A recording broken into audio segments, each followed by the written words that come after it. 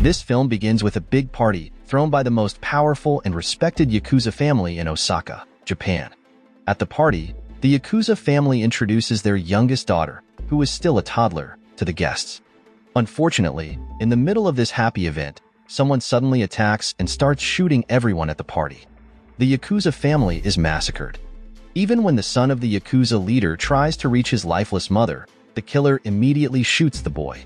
20 years later, in Sao Paulo, Brazil, a man wakes up in a hospital with no memory of what happened to him. When he tries to leave his room, he is stopped by several people who do not let him go. The man, who has no name, is left wondering how he ended up in the hospital with cuts all over his body. In another part of Sao Paulo, where many Japanese descendants live, a girl named Akemi is practicing sword fighting with her teacher, Chiba. Akemi has no parents and has lived only with her grandfather since she was a child. Recently, Akemi's grandfather passed away, so she was entrusted to Chiba, who trains her hard. When Akemi feels like giving up, Chiba reminds her that her grandfather wanted her to become strong and unbeatable. Meanwhile, in Japan, a Yakuza named Takashi gets a phone call from his subordinates after spending time with a woman. After ending the call, he rushes to a place where a man named Yoshiaki, who is believed to have betrayed him, is being tortured. Before dying, Yoshiaki tells Takashi that his boss knows the secret Takashi has been hiding. Yoshiaki's boss even sent an assassin to kill the person Takashi is hiding. Hearing this, Takashi becomes furious and kills everyone in the room. Back to Akemi, who has just finished training at Chiba's dojo, she hurries to the shop where she works. Not long after, Akemi's friend comes to talk about her love problems and advises Akemi to find a boyfriend. Akemi says she doesn't have time to think about that because she is still sad about her grandfather's death. When Akemi returns home, she prays for her late grandfather while remembering various memories about him. At the hospital, the man with amnesia wakes up with his hands handcuffed until a doctor and a team of police investigators come to give him a katana that he was holding when found unconscious. The amnesiac man says he doesn't remember anything, including the katana.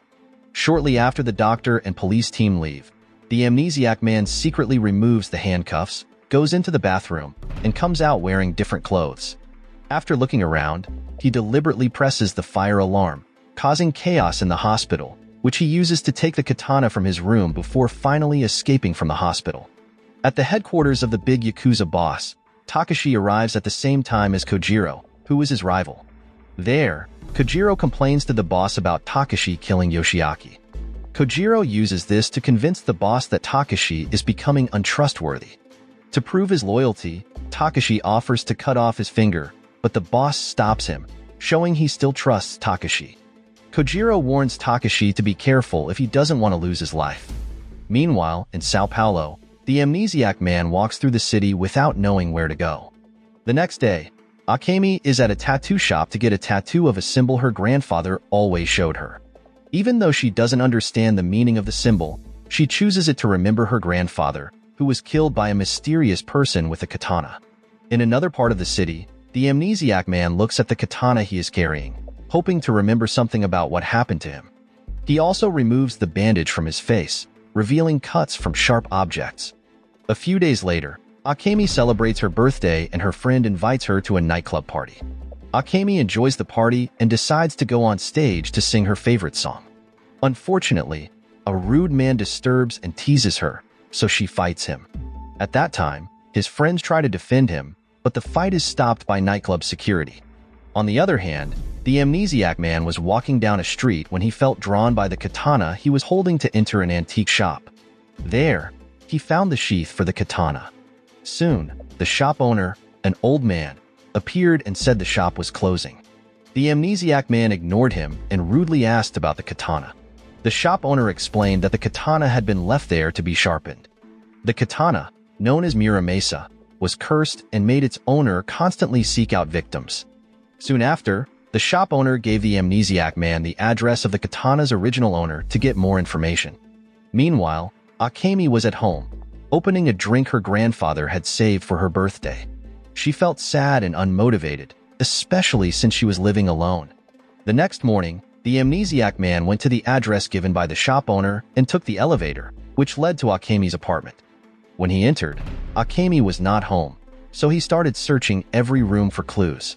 Unfortunately, he did not find any answers about his lost memory. At the airport, Takashi arrived in Sao Paulo and gave a signal to the driver to take him somewhere. Meanwhile, Akemi is being chased by the guys she beat up at the nightclub. She runs to her apartment to hide, but they break in and try to attack her. The amnesiac man, who is still in the apartment, helps Akemi fight them off. The delinquents have weapons, so Akemi grabs the Muramasa katana and slashes one of them. Soon after, Takashi arrives, and Akemi and the amnesiac man think he is with the delinquents. At that time, they try to escape to the roof. Then, Takashi chases them and shoots at them. The amnesiac man fights back, knocking Takashi's gun away, and with Akemi's help, they push Takashi into a moving elevator to escape. To avoid being caught by Takashi, Akemi takes the amnesiac man to Chiba's dojo. There, Akemi helps clean the man's wounds.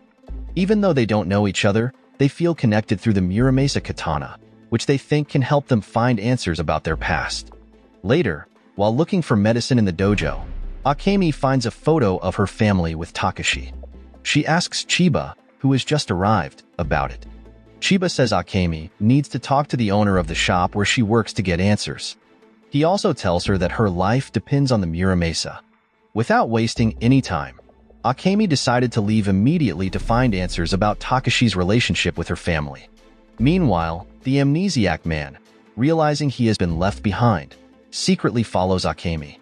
Arriving in front of the shop, Akemi meets the owner, Mrs. Tsugahara, who says she talked to Akemi's grandfather before he died.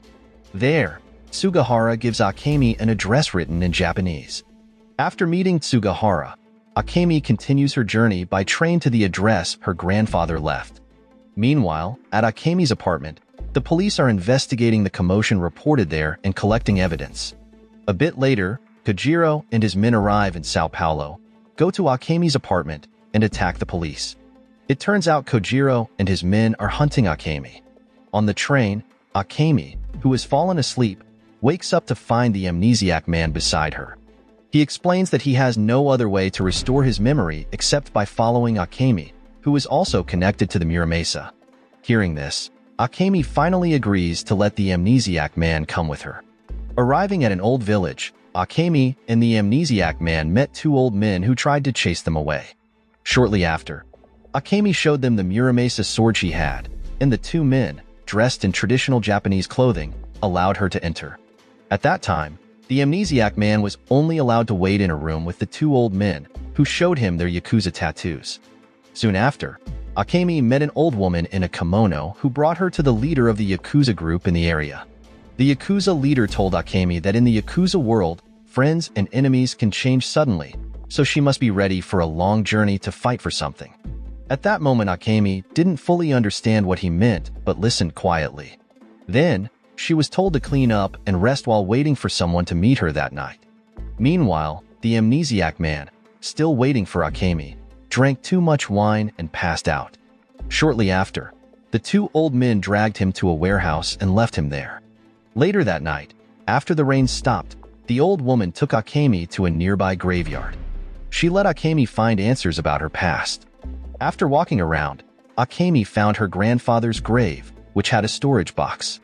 Using the light from a traditional Japanese lamp, Akemi opened the box and found a newspaper clipping. The clipping revealed that Akemi was the daughter of the largest Yakuza group that had been massacred by their enemies.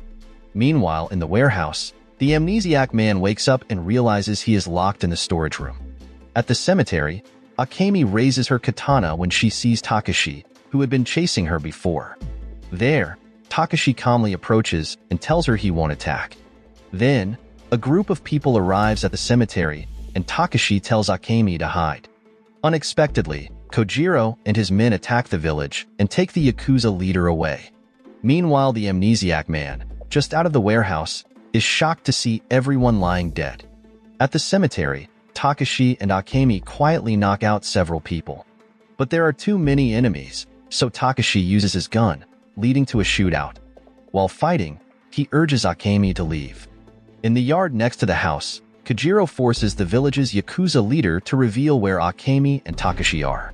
When the leader refuses, Kojiro gets angry and beheads him.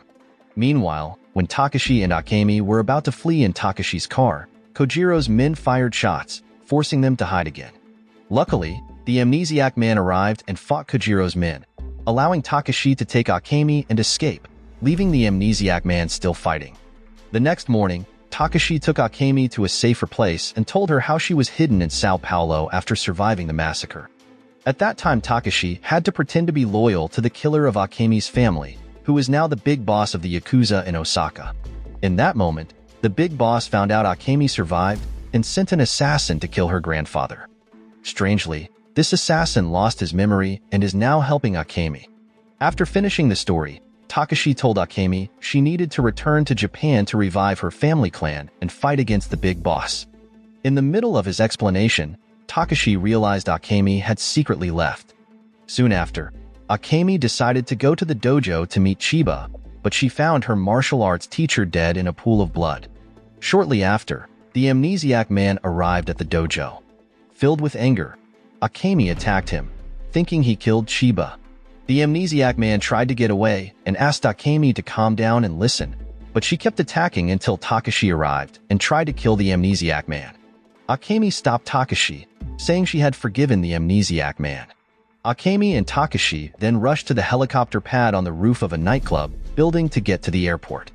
At the nightclub, a man guided them through various rooms where the Yakuza did their illegal businesses. They didn't know that assassins were waiting for them. Akemi and Takashi had to fight the group of assassins. After defeating their opponents, Akemi, with her remaining strength, helped the injured Takashi to the roof. There, Kojiro and his men were waiting with the amnesiac man as a hostage. Soon after, Kojiro attacked and killed Takashi with his katana. In his final moments, Takashi vowed to stay loyal to Akemi's family. At that time Akemi was in a tough spot because she had to face Kojiro and his men alone.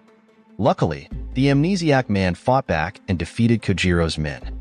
Shortly after, Akemi took out her katana, and Kojiro did the same, so they began a sword fight. Even though Akemi was injured, she kept fighting until she paralyzed Kojiro. To end the duel, she slashed Kojiro with her katana. At the end of the film, Akemi approaches the amnesiac man with the Muramasa sword pointed at him. The amnesiac man swore he did not kill Chiba, so Akemi believed him and gave him the name Shiro. When the helicopter arrived, Akemi asked Shiro to go with her to Japan to face the big boss who had massacred her family 20 years ago. The film ends. The moral lesson from this film is never underestimate the power of a good katana and always keep an amnesiac buddy around because they might just save the day. And remember, if things get tough, just call for a helicopter escape.